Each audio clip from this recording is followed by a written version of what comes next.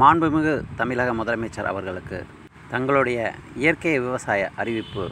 இயற்கை விவசாயிகள் இயற்கை ஆர்வலர்கள் மற்றும் விவசாயிகள் பொதுமக்கள் அனைவரும் மகிழ்ச்சியுடன் வரவேற்கிறோம்.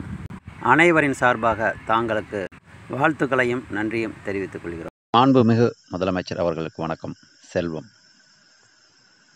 தற்சமயம் வந்துங்க இந்த நாட்டு பசு உடைய எண்ணிக்கையும் குறைஞ்சிட்ருக்கு. அதே போல் நம்ம விவசாயிகளுடைய எண்ணிக்கையும் குறைஞ்சி போயிட்டுருக்கு அந்த நிலைமையில தான் நம்ம தமிழகம் இருக்கிறது.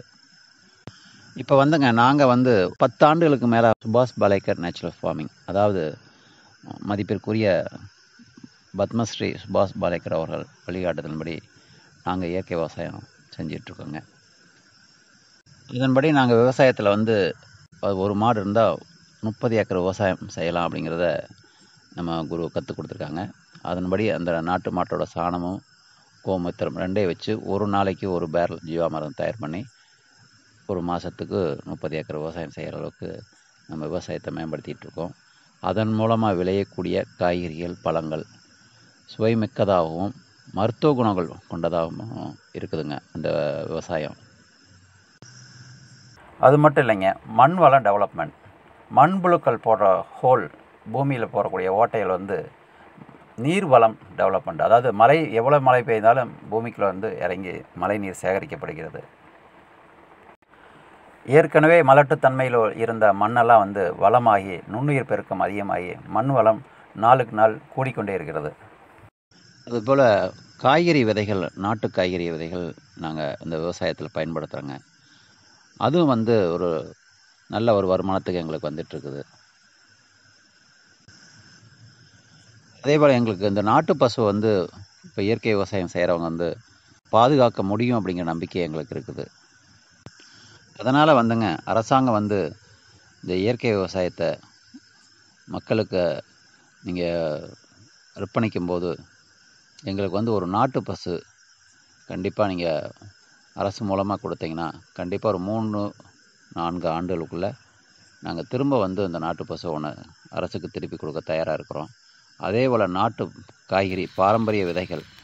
நீங்கள் ஒரு அரை கிலோ அல்லது ஒரு கிலோ இல்லை இருபது விதை ஐம்பது விதை அந்த மாதிரி கொடுத்தீங்கன்னா ரெட்டிப்பு அப்படிங்கிறது இரு மடங்காக நான் வந்து மீண்டும் அரசாங்கத்துக்கு நாங்கள் திரும்ப கொடுக்கறதுக்கு தயாராக இருக்கிறோம். அதே போல் வந்து விவசாய தொழிலாளிகள் கூலி தொழிலாளிகள் அவங்களுக்கு வந்து இந்த நாட்டு பசு அரசு மூலமாக நீங்கள் வழங்கினீங்கன்னா அதே போல் அவங்களும் மூணு டு நாலு ஆண்டுகளில் இந்த பசுவை வந்து அரசுக்கு திருப்பி கொடுக்க முடியும். அந்த பசு மாடுகளை அடுத்தடுத்த விவசாயிகளுக்கு அரசு மூலமாகவே நீங்கள் கொடுத்து திரும்ப வாங்கி கண்டிப்பாக அந்த மாதிரி பரிமாற்றங்கள் இப்படி பண்ணும்போது குறைஞ்ச செலவில் வந்து அதிகமான விவசாயிகளுக்கு பசுக்களை வந்து அரசு மூலமாக வழங்க முடியும் அப்படிங்கிறத நான் சொல்லிக்க விரும்புகிறேங்க அதனால் இந்த இயற்கை விவசாயத்துக்கு நீங்கள் ஏற்கனவே அது ஆர்கானிக் ஃபார்ம் சர்டிஃபிகேட் கொடுக்குறாங்க அரசு மூலமாக எங்களுக்கு வந்து இயற்கை விவசாய சர்டிஃபிகேட் அதாவது நேச்சுரல் ஃபார்மிங் சர்டிஃபிகேட் கண்டிப்பாக வழங்கணும்னு நாங்கள் எதிர்பார்க்குறோங்க. அதுவும் முறையாக இயற்கை விவசாயத்தை செய்ய செய்கிறவங்களுக்கு அந்த அங்கீகாரம் உள்ளவங்களுக்கு மட்டும் அந்த சர்டிஃபிகேட் வழங்கினீங்கன்னா அதுவும் இலவசமாக நீங்கள் வழங்கணும். அதை கண்டிப்பாக நாங்கள் எதிர்பார்க்குறோங்க.